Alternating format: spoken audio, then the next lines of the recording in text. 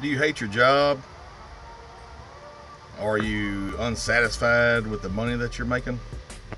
Well, do I got news for you? Woo! There's this company called Revital U International. We are in this business, man. We are brand influencers. Holly is a regional brand influencer for this company. We're a coffee company. Supplements. You got uh, coffee and you have capsules for people who don't drink coffee.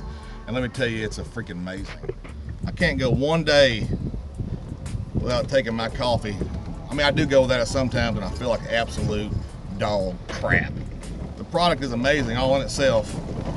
All we do is we contact people that we know, family, friends, and even strangers and ask them, hey man, you like coffee? They say yes or no. And then you say, okay, well, I got something I want you to try. I want you to try this coffee, man. It's freaking awesome. And uh, you give them a sample and you say, if you like the coffee, then you're gonna love the business. And that's the truth. This business is not for everybody, but what if it was for you?